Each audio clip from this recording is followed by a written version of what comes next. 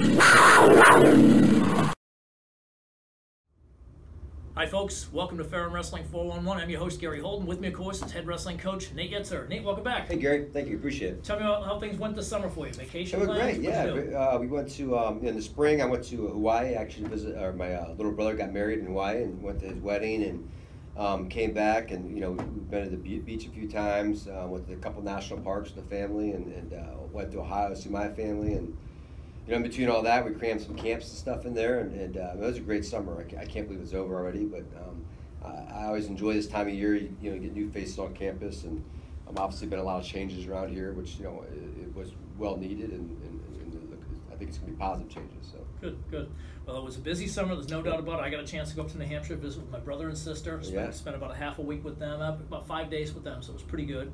And I haven't seen them since last summer, so it was great to catch up with them and everything. And other than that, it has been just one thing after Yep, the other this summer. It's been super fast, and it's here we are. We're starting off this, uh, the new school year. Yep, so absolutely. And, and you know, then obviously we brought Logan Maestro on board. Um, Yep, yeah, yep. And uh, I don't.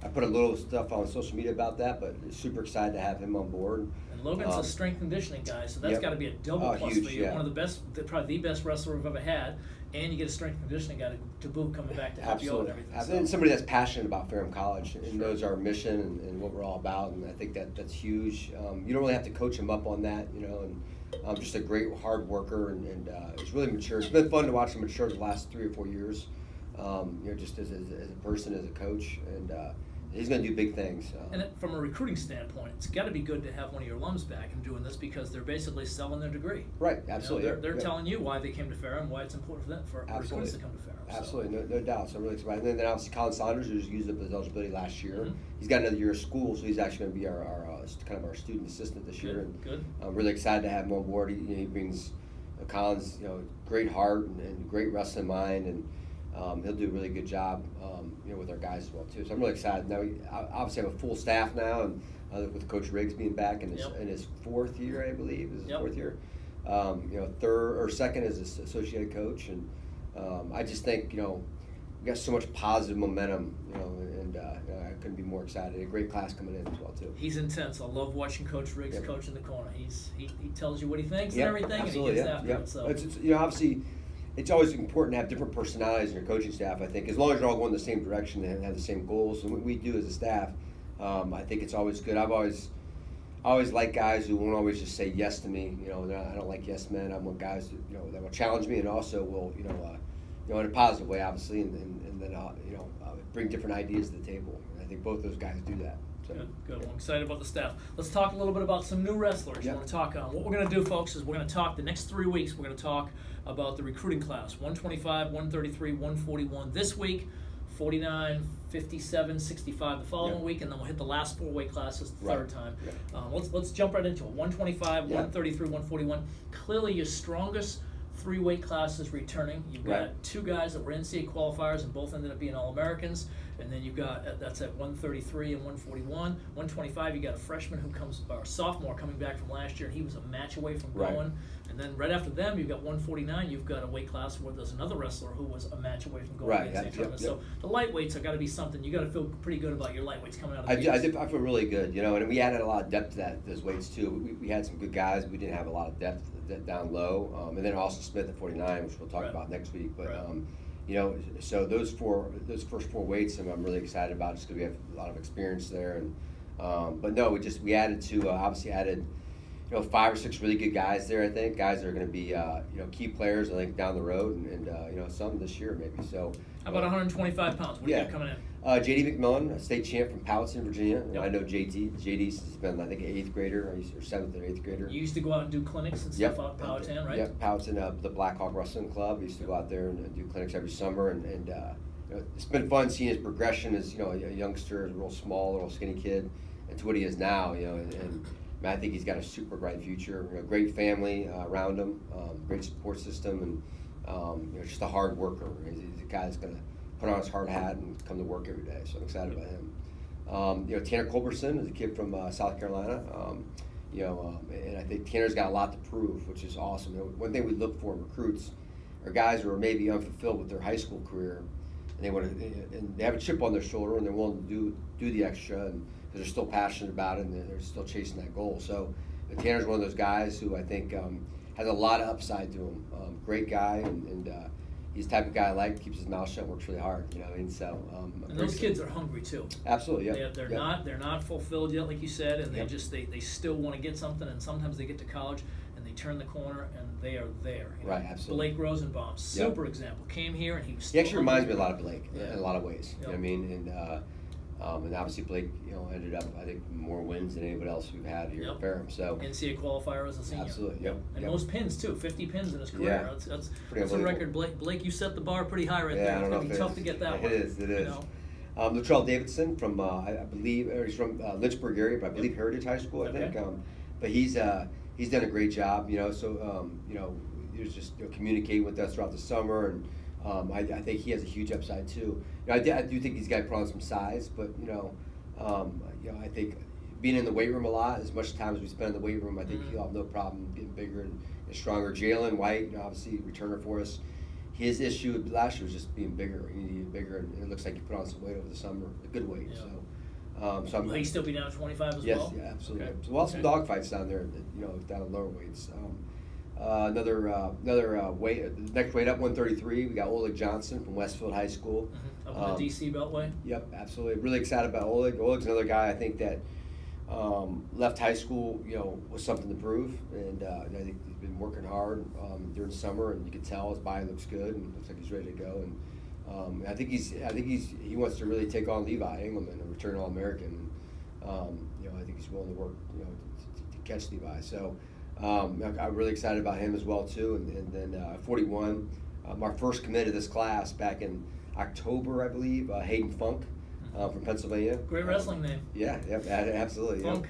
Yep, he's he's. Uh, I think he's gonna be a special kid. I mean, you know, reminds me a lot of uh, some like JD, where he's a hardworking kid and a great support system around him, and um, it always helps to get a kid from you know New Jersey or Pennsylvania, just because every tournament they go to throughout the season is you know there's always really good kids in those weights, and they have to they have to learn how to grind through you know grind through the season. Mhm. There's so many with so much great competition, and so think this is gonna be. Uh, you know, no different for Hayden, I guess. You know, and, and uh, I'm really excited about him. I think he's a lot, of, a lot of potential. It's gotta be neat for you to see. You know, you've got a strong threesome back in the in the well, really a 149 as well with with Mhm. um, with Austin and everything. But in the lightweights, you've got such great returners coming back, but then you're filling it with guys that are right behind them. And, Right. and we all know injuries happen, uh, Yeah. sicknesses, and all of a sudden, you know, you're 133 pounders out, and you've got to feel good about the kid that you're putting out Absolutely, there. absolutely. You, know, you got to feel good about. All right, he's not just going to go out there and you know try to stay off his back. We're expecting you to get a win, and if you can get a pin, we need that pin from you. Right, absolutely. So- Yeah, I, I think you know we're in a good position as a program, and it's only going to get better. I really do believe now with another coach is, you know, uh, we're building depth at each weight. You know, when I don't think we've ever had that before. Um, you know, there's been years, and, and the last year was probably the best year we had as far as being too deep at like four or five weights. You know, and, and uh, uh, with really competitive weights. You know what I mean? And um, la- you know, we had a couple weights last year where you know with the, the, the top guy was by far, by far the, the best guy. I think that's really changed a little bit, and now every weight I think we're going to be competitive at uh, with two or three guys competing for the spot. It's great, good. great problem to have. Yep, absolutely. Super Yep. problem to have. I know a lot of coaches, and especially with the lightweights, you know, the bookends seem to be the toughest ones.